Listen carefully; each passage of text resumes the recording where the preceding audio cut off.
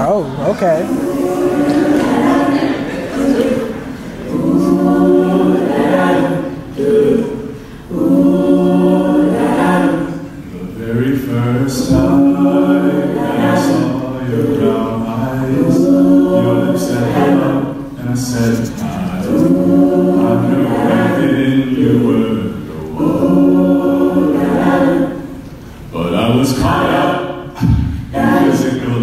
affection, but to my satisfaction, maybe you are more than just a face. And if I ever in love again, I will be sure.